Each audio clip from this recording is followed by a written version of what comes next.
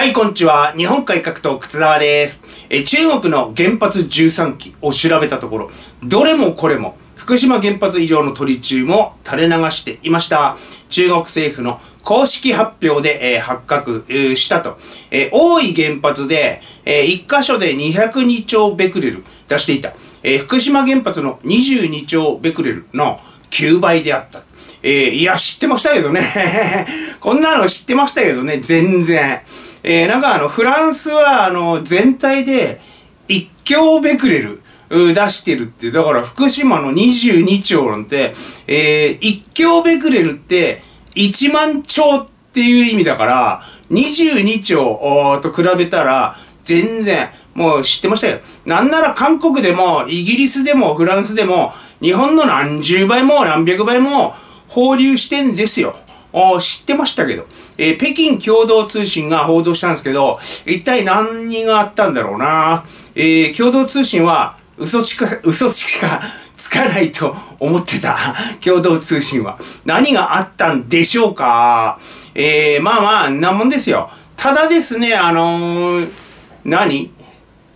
あれだって、1万強ベクレルぐらい地球上であのトリチウムは自然発生してるらしいんですよ。年間。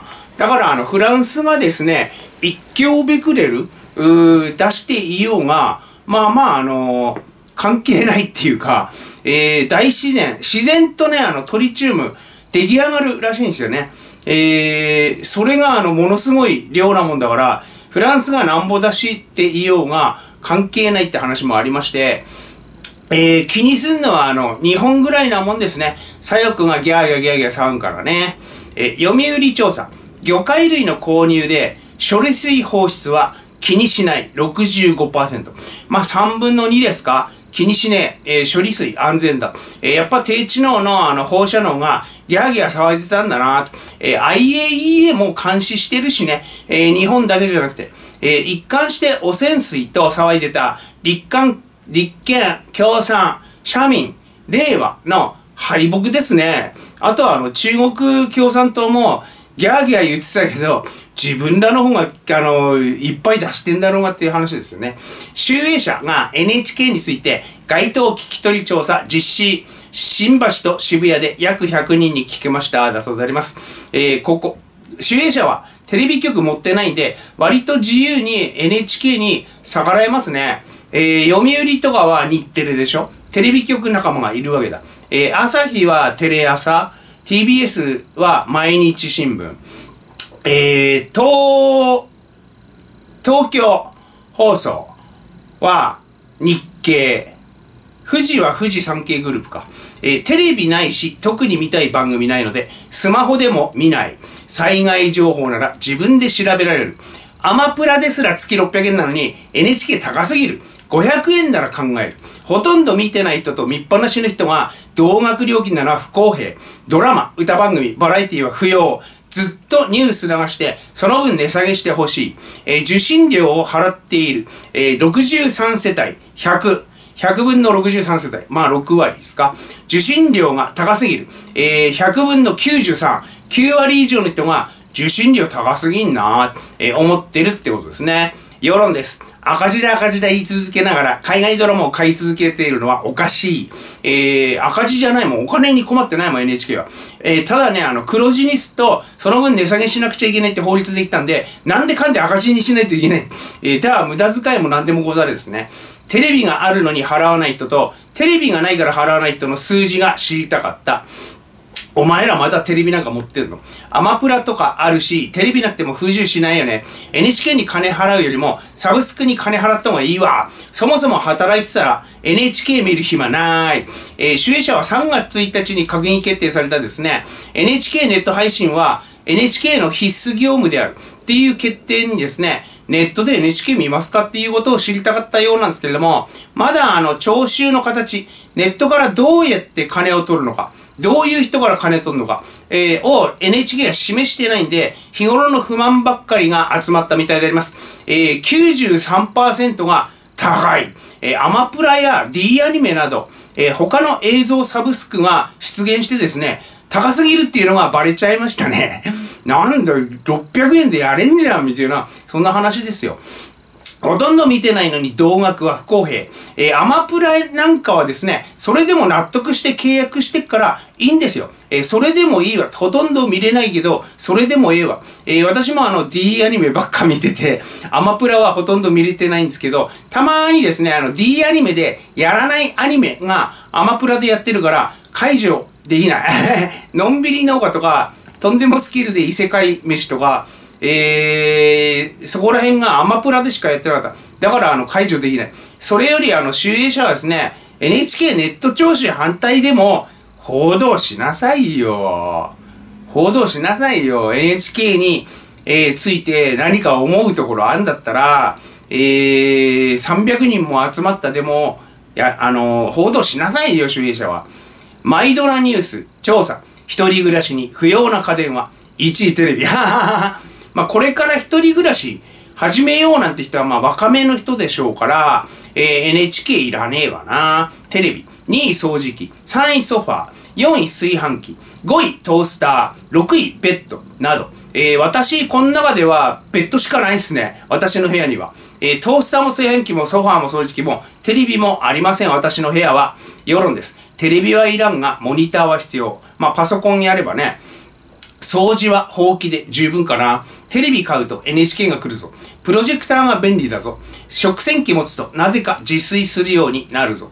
新生活始める人は絶対テレビ買わないよ。えー、食洗機買うとですね、やっぱあの、めんどくさくないから、やっぱ茶碗洗いってすごくめんどくさくて負担みたいなんですよね。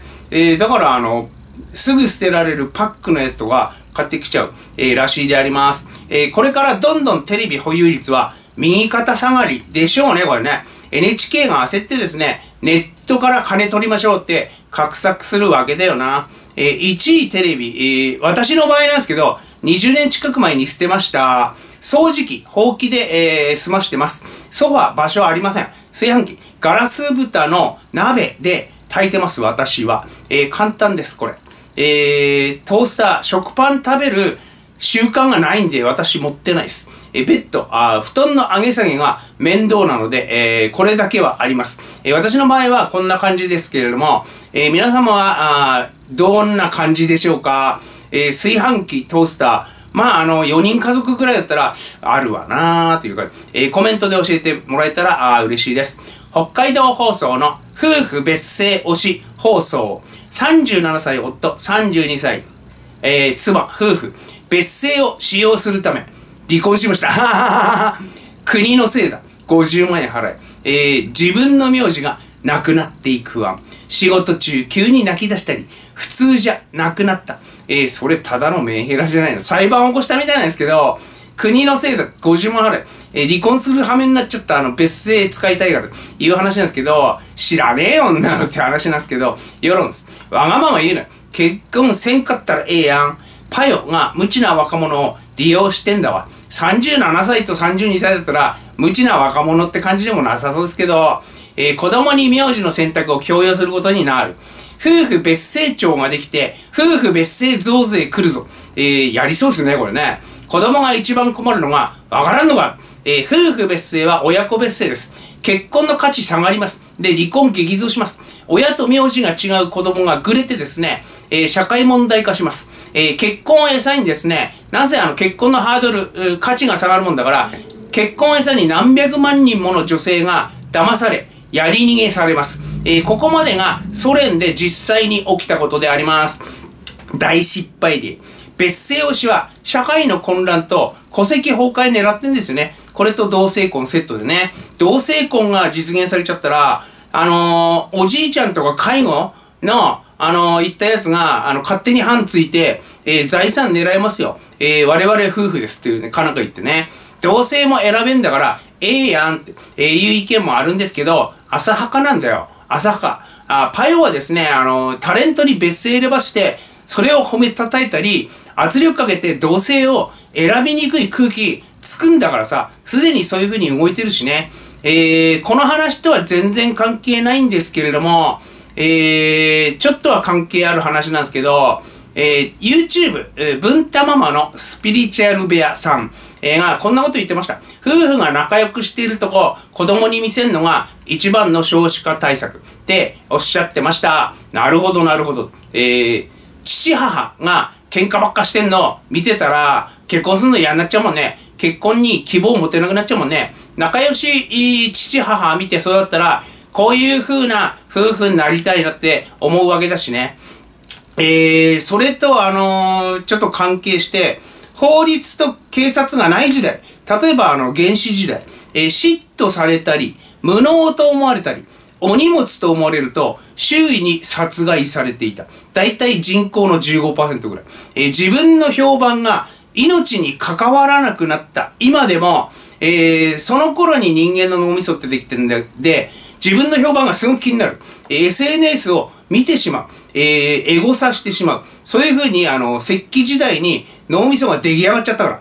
つまり自分の評判が命に関わっていた時代に脳みそ出来上がっちゃって、えー、自分の評判が命に関わらなくなった。えー、まあね、あの、安倍総理なんていうですね、えー、稀有な特殊な例はありますけど、極潰しでも、モテすぎても、命が危ない時代。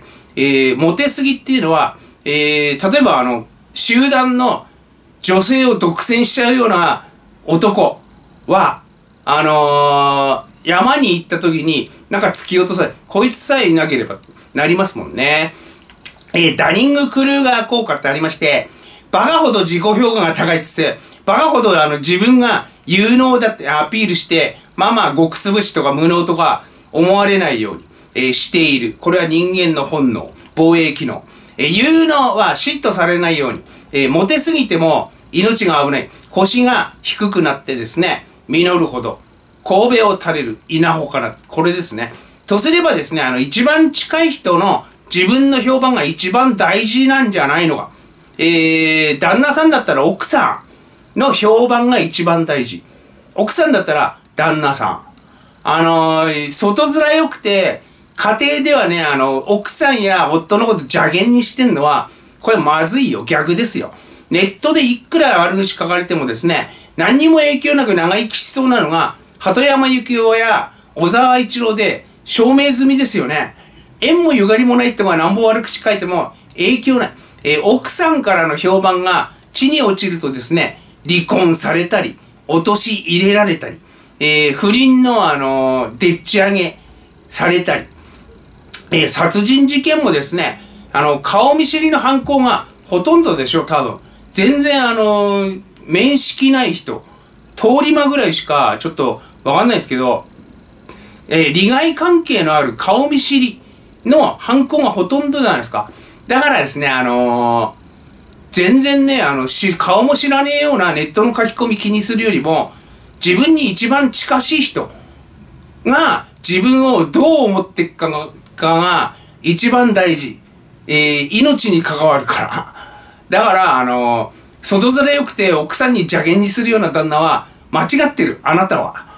自ら命を危険にさらしている。間違ってる。えー、何が言いたいかっていうと、まあまあ、あのー、一番近い人に優しくしなさい、大事にしなさい。ということを私は言いたいのであります。えー、その他のニュース。周辺5カ国が共同でガザに食料品や医療品など人道支援物資を空中投下いたしました。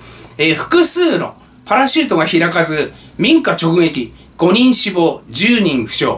これ昨日のニュースなんですけど、今日もまたやらかしてるみたいですね。